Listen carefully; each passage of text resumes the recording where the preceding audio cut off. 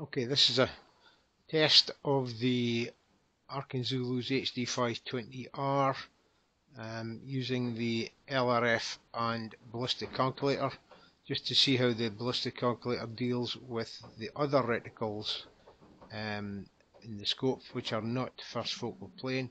So what we've got at the moment is we've got the very small cross reticle which is in yellow and I'm set up the profile for 22 subsonic 0 at 50 yards and you can see that wall is only 49 meters away so when I press the range button you can see that the red holdover mark is pretty much right on top of the yellow cross. If I move to something that's a bit further away, for example that mark on the roof which is about 88 meters, you can see now it's putting a red cross distinctly below the yellow cross. So the red cross becomes the aiming mark. And if I go up to longer range, which is about 150 meters, and I hit the range button there, you can see that the red cross is substantially further down to reflect the, the increase in range. Now what I think you probably can't see is I also have the pip switched on and in the pip box there is no red cross.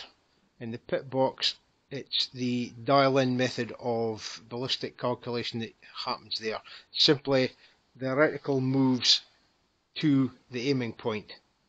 And if I, at the moment I'm looking at the aiming point on the main screen, which is that branch cutting from right to left, and if I look at the pip, the reticle in the pip is in exactly the same spot. It's bang in the middle of that branch, moving, that's sticking from left to right. So the pip, the ballistic calculator does work in the pip and does that for all the reticles. It doesn't put a holdover mark. There's no holdover mark in the pip for any of the reticles in any range or any magnification. I've changed the aiming method from holdover, where it puts a red mark on the on the reticle or below the reticle, depending what reticle you use. I've now changed to dial in, where the reticle is simply the center of the reticle is simply shifted to the point of aim.